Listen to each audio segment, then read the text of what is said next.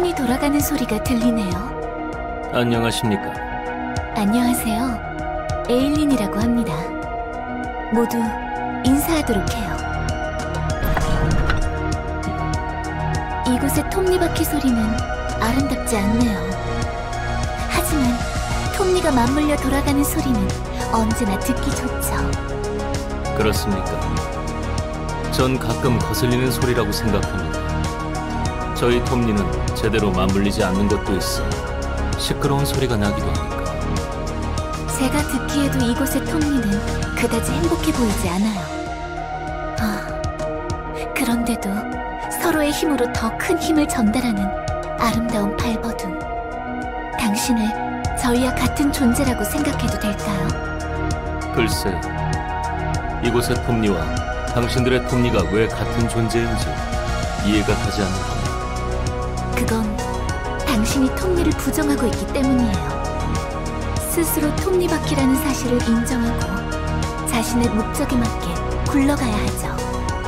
제가 도와드릴 수 있어요. 사용하겠습니다. 전 제 목적을 찾아 잘 굴러가고 있으니까요. 스스로 굴러가는 건 올바르지 못해요.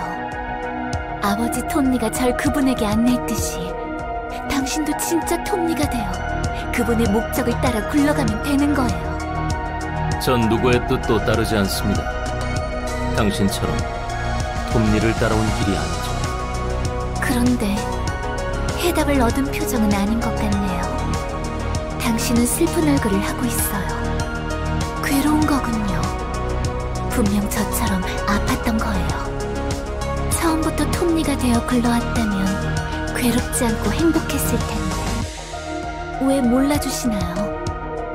당신도 저희와 같습니다. 더는 괴로워 말고 톱니를 받아들이세요. 톱니의 길을 걸으세요.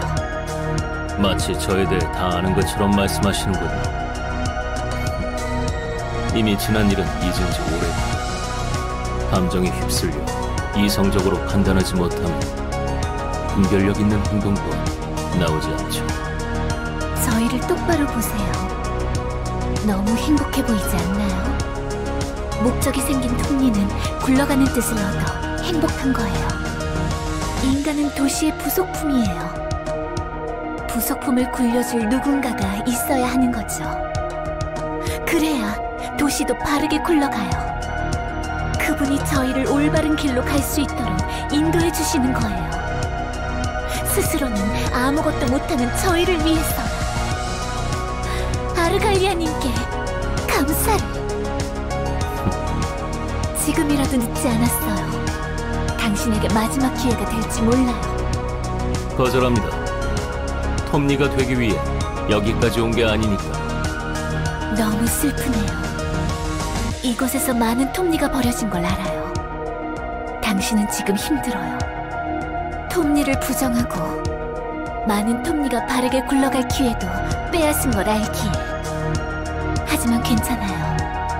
이제부터라도 그분들의 목만큼 열심히 굴러가면 되니까요. 모두 제가 선택한 길입니다. 전 이제 지난 일에 묶여있지 않고 되도록 앞만 보려고 합니다. 여기서 죽음을 맞이한 이들은 안타깝다고 생각하지만 하지만 미안한 감정에 끌려다닐 거라면 처음부터 시작해선 안 됐겠죠. 이미 너무 멀리 와버렸으니까요. 그렇군요. 더는 똑바로 굴러갈 수 없는 톱니들이었다는 거네요. 저희가 같은 존재일 거라고 확신했는데 끝까지 톱니를 부정하시네요. 부디 알아두세요. 혼자서는 끝까지 굴러가지 못해요. 언젠가 당신은 무너져 버릴 거예요.